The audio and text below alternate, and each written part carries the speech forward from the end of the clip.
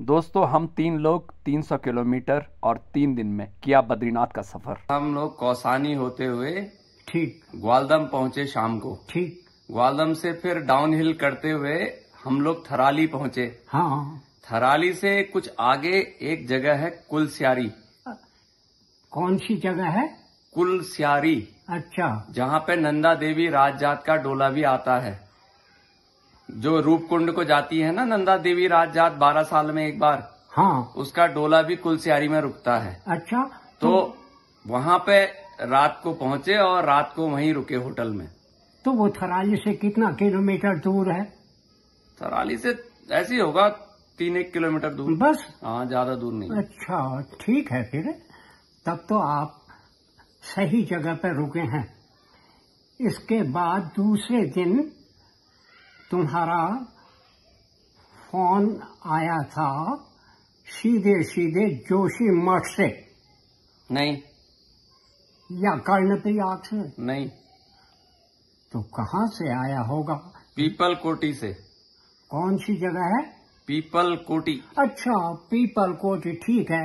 वहाँ से जोशी मठ तो शायद पैंतीस किलोमीटर। पैंतीस किलोमीटर है। ठीक है तो तुम पीपल कोटी पहुँच गए थे। हाँ। तो हनुमान चट्टी से कई सड़क पर कई चट्टियाँ मिलती रहती हैं। मतलब सड़क का ग्रेडियंट इस तरह का है कि मुझे बहुत से चक्कर लगाने पड़े वहाँ पर और अंत में एक इतनी ऊँची जगह पर पहुँचे वहाँ पर बर्फ़ जो है, वो बिल्कुल ज़मीन पर ढकी हुई सी थी और उसे कुछ मजदूर लोग साफ़ कर रहे थे। तो वो जब साफ़ हो गया, तब उसके बाद आगे को बढ़े और बद्रीनाथ पहुँचे। तो तुम्हारी तुम्हारी यात्रा में क्या वहाँ पर तुम्हें उस ऊँची जगह पे तुम्हें भी बर्फ़ मिली या रास्ता बिल्कुल साफ़ मिला? नहीं हम लोग जब चले थे ना तो सुबह से ही बारिश हो रही थी। अच्छा। तो हम लोगों ने रेनकोट पहन लिया था अच्छा। और हनुमान चट्टी पे हमें शाम हो गई थी। ठीक।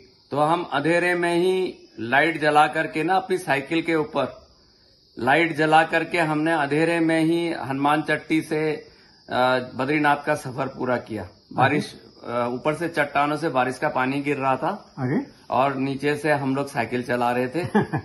और हमारे पास लाइट थी हमारे पास टोटल गैस थे।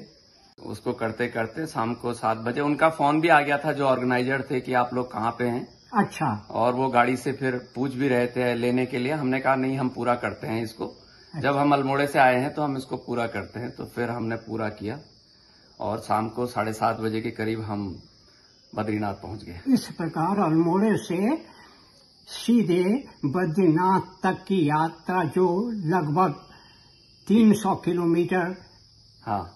तुमने मुझे बतलाई थी उसे तय कर ली। ये हाँ। बहुत आश्चर्यजनक चीज़ रही। यह बहुत खुशी की बात है। पर डे हम लोग प्रतिदिन हम लोग ग्यारह या बारह घंटे साइकिल चलाते थे। हाँ। सुबह छह बजे से लेके शाम के छह सात बजे तक साइकिल चलाते थे। हम्म, हम्म, तो तभी जाकर के ये 300 किलोमीटर की दूरी जो है तीन दिन में पूरी हो पाई। अगर हम लोग ऐसा नहीं करते तो हमें एक दिन और लग जाता। तो हमने टारगेट तीन दिन का ही रखा था तो इसलिए हमने इसको इस तरीके से पूरा किया। और हर मौसम में हमने साइकिल चलाई। वाह बहुत आज सुबह यात्रा शुरू की बद्रीनाथ के लिए माणा पास। और मोहंदा के साथ हूँ मैं। हमने सुबह सवा छः बजे अल्मोड़ा से शुरू किया अपना सफ़र और अभी हम पहुँच चुके हैं रनमन। ये रनमन पोस्ट ऑफ़िस है और आज की हमारी यात्रा देखते हैं वन थर्टी या कितने किलोमीटर होगी। ये आगे पता चलेगा अभी हल्की हल्की बारिश हो रही है। अल्मोड़े के बाद हमने पहले यहीं पर स्टॉप किया था। तो ये है डाकघर रनमन। यहाँ पे हमने छोले वगैरह खाए हैं। आप देख सकते हैं। ये छोटी सी दुकान है। और इसके बाद हमारी यात्रा आगे की ओर है। मोहनदा, देखो तो जरा। यात्रा में हमारे साथी हैं मोहनदा।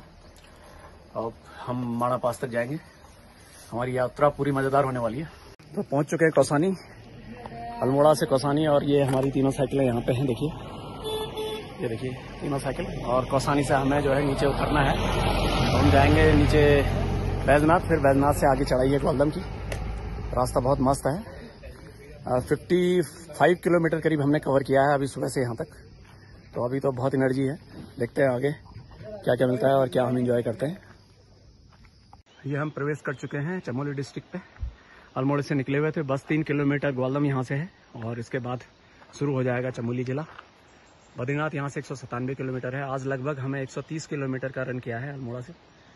देख सकते हैं रोड में कितना डिफरेंस है। कुलसियारी से आगे बढ़ के हम दूसरे दिन करण प्रयाग में दो नदियों के संगम, पिंडर और अलखनंदा से मिलते हुए हम आगे की ओर बढ़े और पहुँच गए हम चमोली के पास। चमोली का डिस्ट्रिक्ट हेडक्वार्टर है गोपेश्वर, जो इस जगह से दिखलाई दे रहा है और नीचे बह रही है अलकनंदा ये सड़क है जहाँ पे हमारी साइकिलें खड़ी हैं और यहाँ से बेहतरीन नज़ारा है आगे का।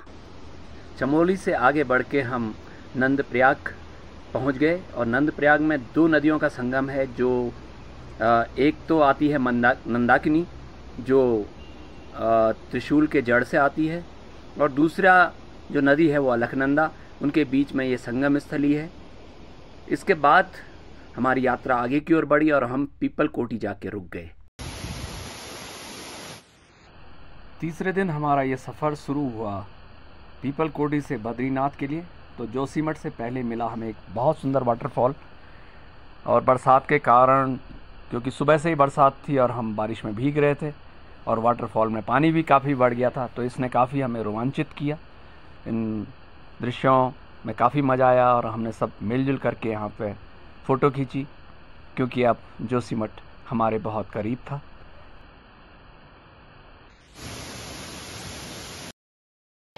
ये आ रहे हैं हमारे मोहनदा साइकिलिस्ट ये देखिए, हनुमान चट्टी पहुँच चुके हैं हम सुबह से चलते चलते, और ये है हनुमान जी का मंदिर। Love you Hanuman ji. जय हो। दोस्तों, बद्रीनाथ पहुँचते पहुँचते हमें बहुत रात हो गई थी तो इसलिए मैं रात के फ़ोटो खींच नहीं पाया क्योंकि बारिश भी हो रही थी। और दूसरे दिन सुबह उठ करके हमने पहले तप्त कुंड में स्नान किया गर्म पानी से तो हमारी थकान काफ़ी मिट गई। और इस पानी में नहाने का मज़ा तो अपने आप में गज़ब है। शुरू में अंदर जाने में बहुत गर्म लगता है, लेकिन जब आप, आपकी बॉडी इसमें एक्मेटाइज हो जाती है तो फिर बहुत आनंद आता है। करीब आधा घंटा इसमें रहने के बाद और पूरा नहाने का एंजॉय करने के बाद हम धीरे धीरे बड़े मंदिर की ओर, बद्रीनाथ मंदिर के दर्शन के लिए, वहीं पर हमें सभी साइकिलिस्ट के साथ मिलना था।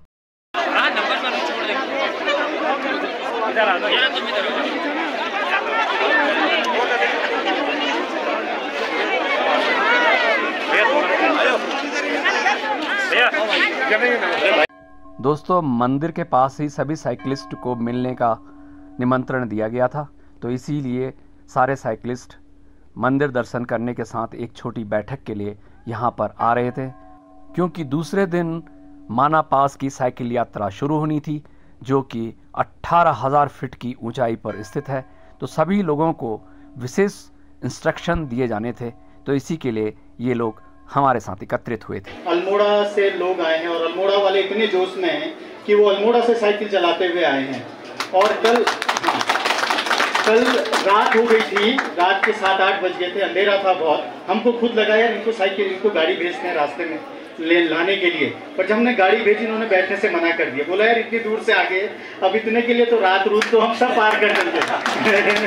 तो सभी का बहुत बहुत धन्यवाद। अभी इसके बाद यहाँ पे मंदिर समिति आपको कोई सम्मान दे रही है, और हम जाके फिर प्रांगण में हो जाएँगे। मंदिर में साइकिलिस्ट की मीटिंग के बाद हम लोग निकल पड़े माणा गाँव की ओर, जो बद्रीनाथ से सिर्फ़ तीन किलोमीटर की दूरी पर स्थित है, और यहीं से एक रास्ता जाता है वसुधारा फॉल को। तो हमने अपनी साइकिलें माना गाँव तक पहुंचाई। यहाँ से हमारी दूसरे दिन की माना पास की या देवताल की यात्रा शुरू होनी थी। तो इस तरह हम तीनों दोस्त अल्मोड़ा से मोहन सिंह भंडारी और कार्तिक भट्ट और मैं अच्छी तरह बद्रीनाथ पहुँच गए और अब हमें तैयारी करनी थी अगले दिन की माणा पास की। तो नेक्स्ट एपिसोड में ज़रूर देखिएगा।